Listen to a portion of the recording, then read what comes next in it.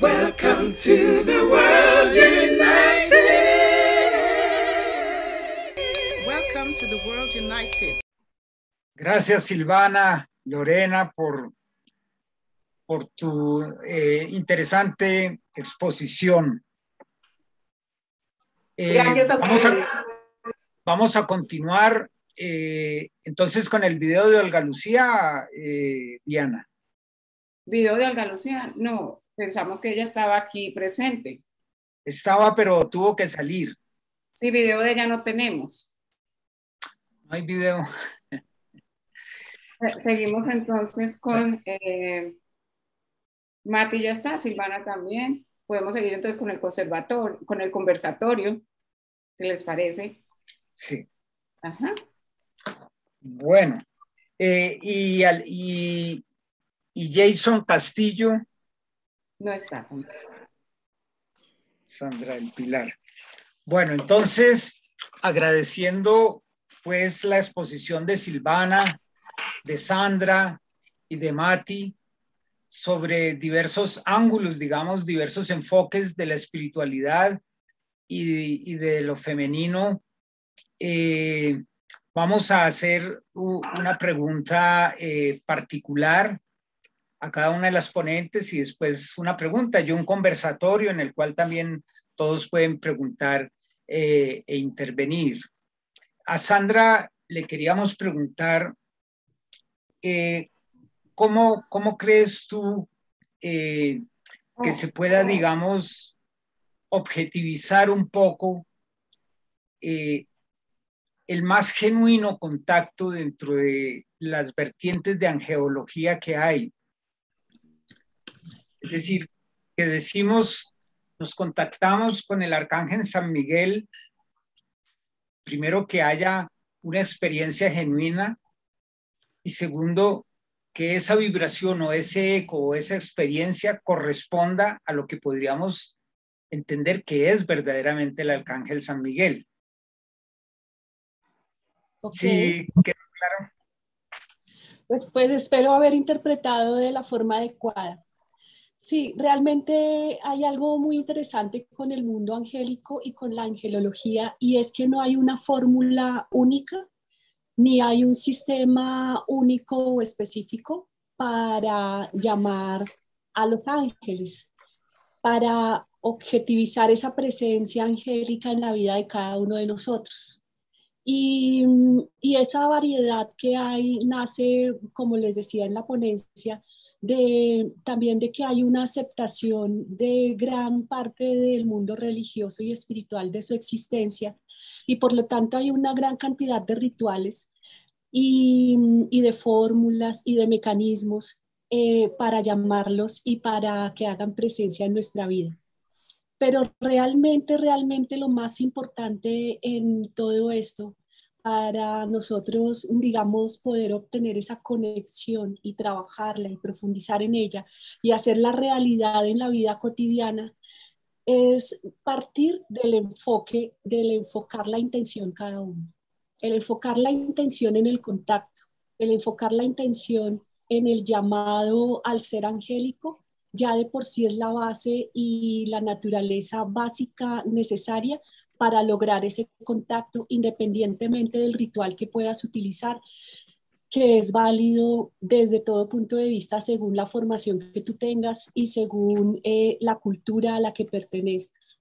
Entonces, lo, digamos que lo común en, todas, en todos los rituales, en todas las tradiciones, es ese eh, enfocar la intención en el contacto, enfocar la intención en el llamado enfocarnos en que estamos haciéndole un llamado en este momento a San Miguel Arcángel para que acuda, para que estén en este instante y podamos respirar su energía hermosa y protectora.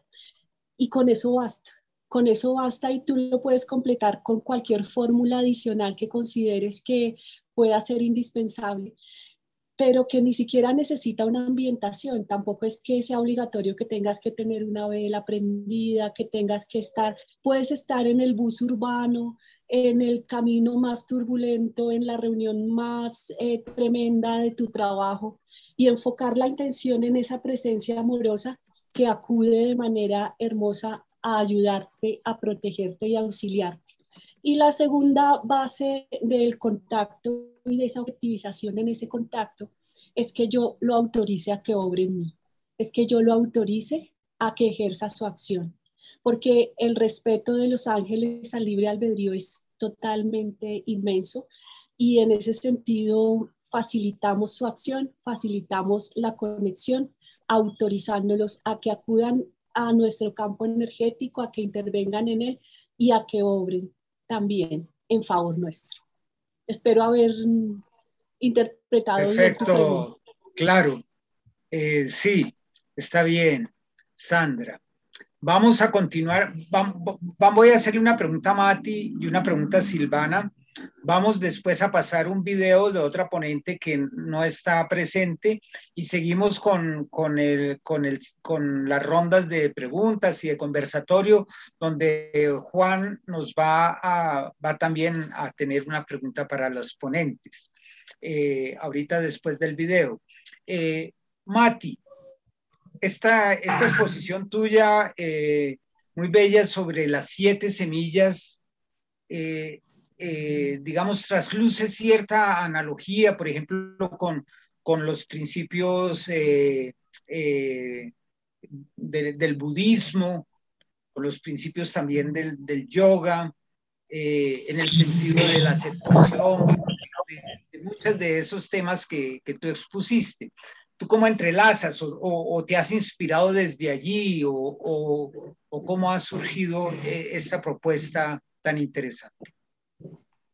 Gracias por tu, por tu pregunta. No, eh, si bien es cierto, yo he incursionado en diferentes campos religiosos y filosóficos porque desde niña surgió en mí la enorme necesidad de conocer, realmente esta información no es que yo la haya eh, extraído de mí misma. Esto lo aprendí en una escuela, que es la Escuela de Magia del Amor, que este, esta información la, la, me la enseñó, me la transmitió Gerardo Schmedling, no sé si conozcan de él, y eh, con él hice una formación bastante larga de varios años, porque no es de, es toda una maestría, es una, toda una transformación.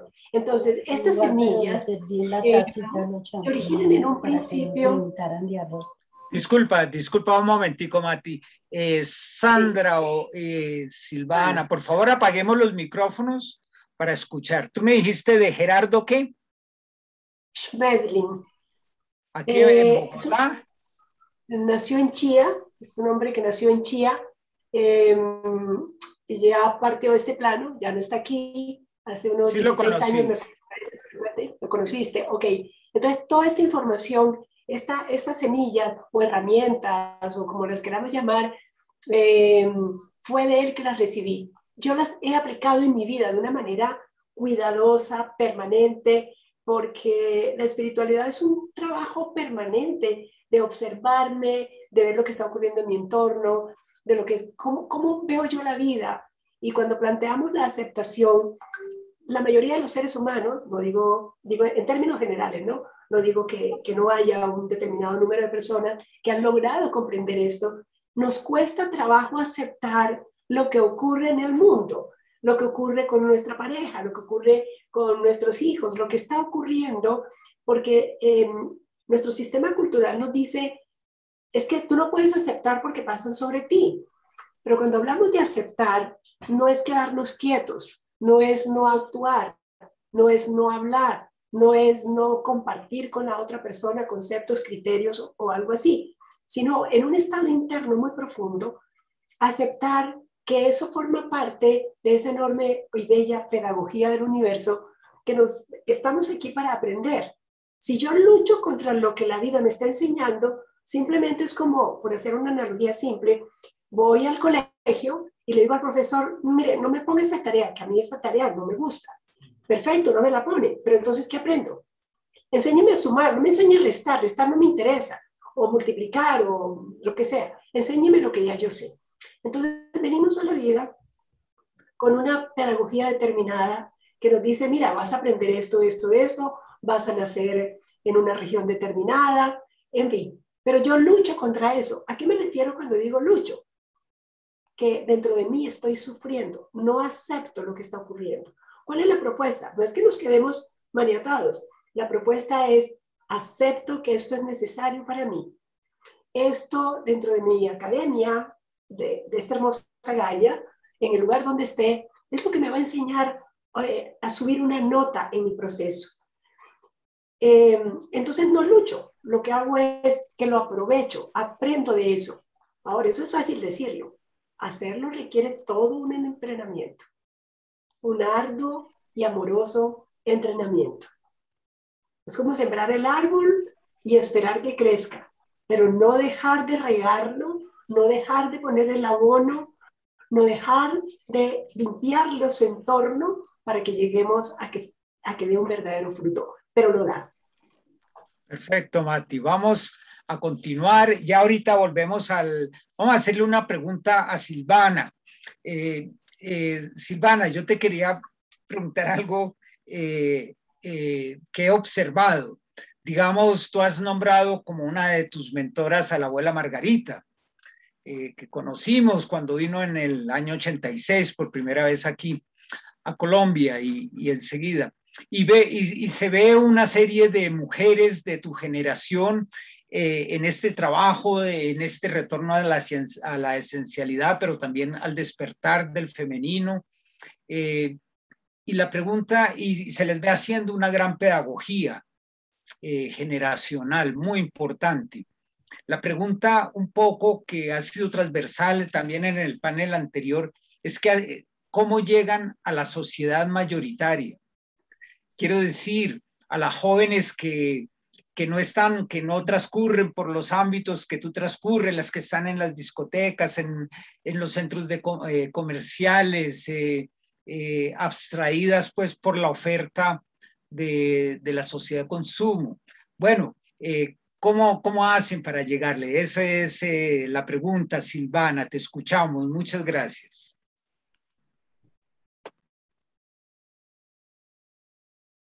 El micrófono. Abre el micrófono, por favor. Silvana, abre el micrófono. Es. Listo, ya. Listo, listo. Listo. Eh, digamos que en el ámbito en el que yo me desenvuelvo, como también soy profesora de yoga, tengo el, digamos, tengo la posibilidad, trabajo en colegios con jóvenes y con niños.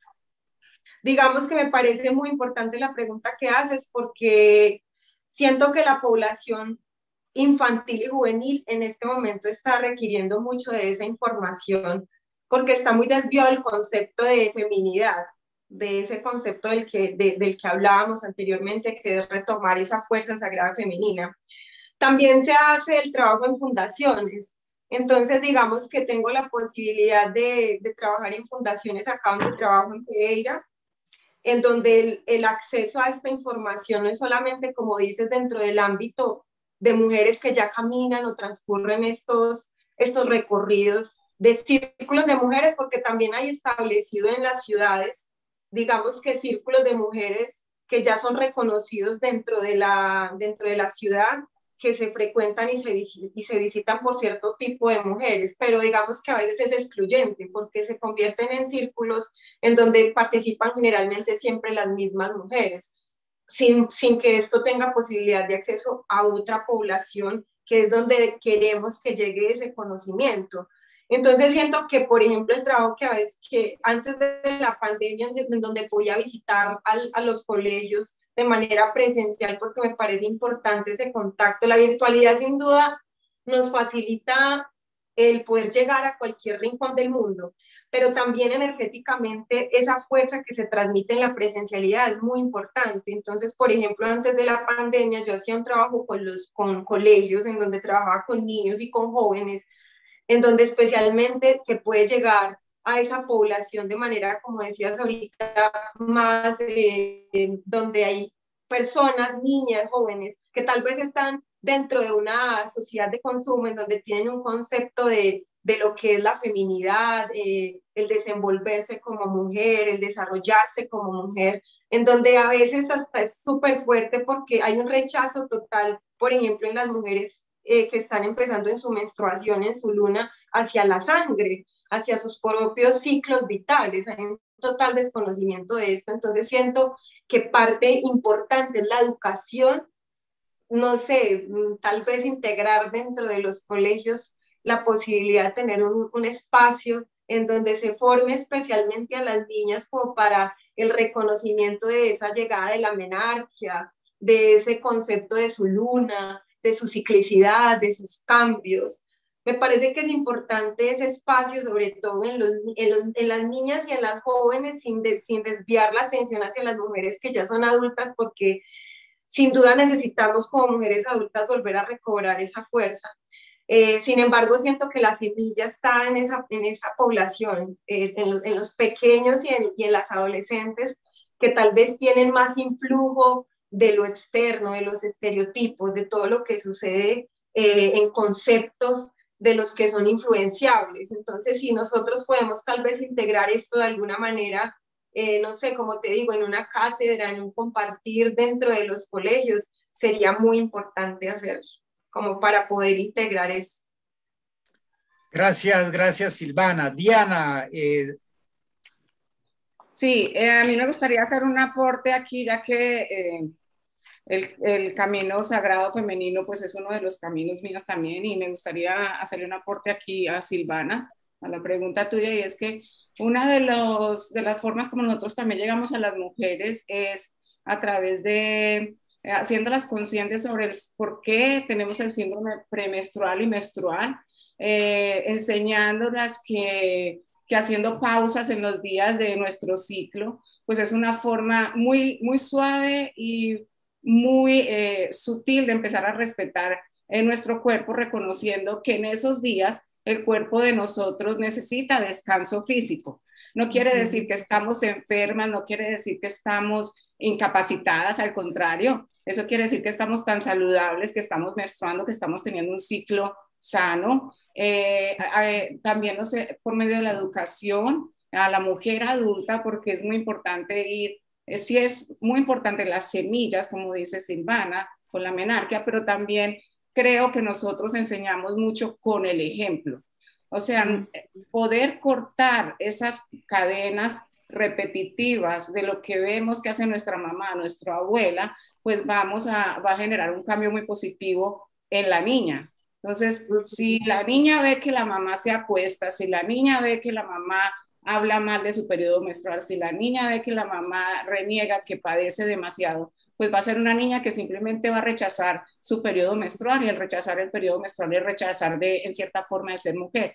Entonces, una forma eh, básica, sencilla, de llegar a todas las mujeres eh, en cualquier eh, nivel social o que desempeñen en cualquier área profesional, es simplemente diciéndole, la menstruación es algo normal para nosotros, llevándolas a que reconozcan que la menstruación es salud para nosotros y que podemos disminuir esos síntomas menstruales y premenstruales simplemente eh, haciendo ciertas pausas, menos actividad física y escogiendo otras actividades en esos tiempos. Eh, y esto también va a traer armonía para la familia y mayor entendimiento en la casa.